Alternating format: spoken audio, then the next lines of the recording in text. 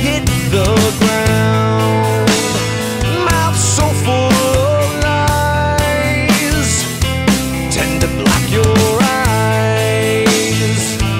Just keep them closed, keep praying, just keep.